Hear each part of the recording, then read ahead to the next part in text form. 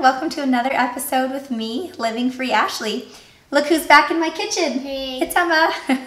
Uh, if you didn't see our latest video, this is Emma from Zimt Chocolates. Um, tell us about Zimt. Okay.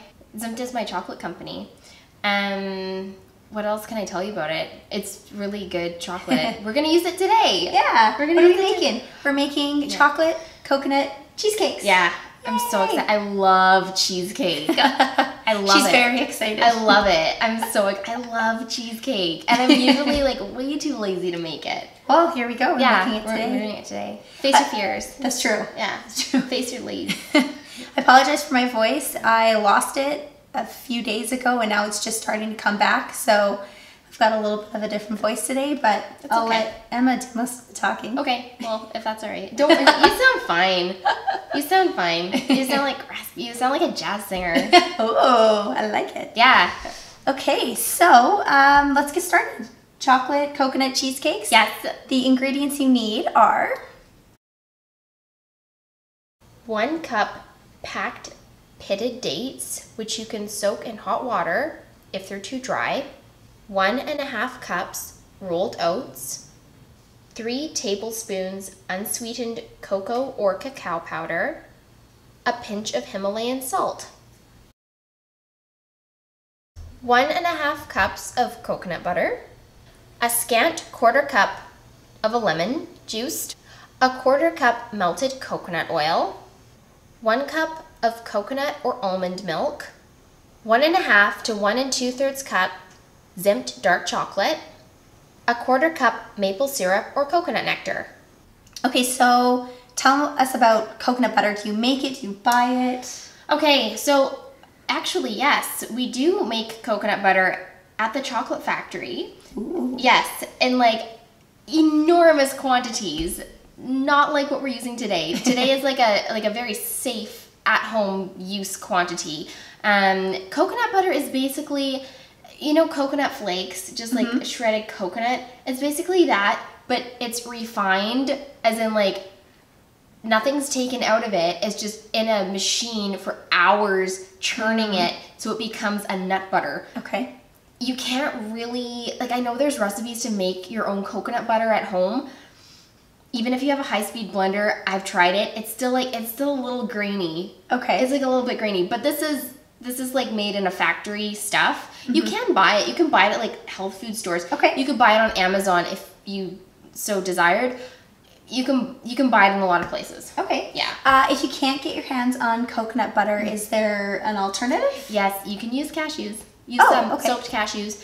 Um, I mean, if you have a nut allergy, you definitely don't do it. but Stick with the coconut yeah, butter. Stick with the coconut butter. Um, but yeah, cashews are your next best bet if you Okay. can't get coconut butter and you don't have a cashew allergy. Okay, let's get started.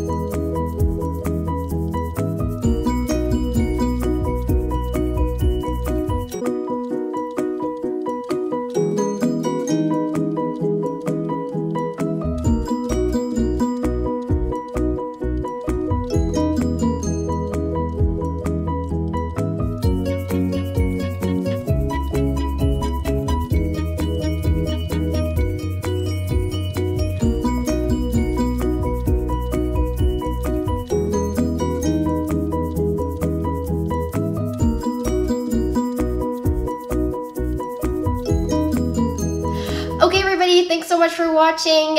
Face your fears, make some cheesecakes. They're obviously not that difficult to make. You can do it. They're really delicious. We hope you get to experience them soon. Awesome. Thanks for coming again today. Thank you so much for having me. it's not often that I get invited back things. so this is really special. A friend indeed. Yeah, is a friend in need. Nope, it's the other way oh, around. Oh, okay. I don't get invited back. I correct people. Enjoy your cheesecake and cheers to living free.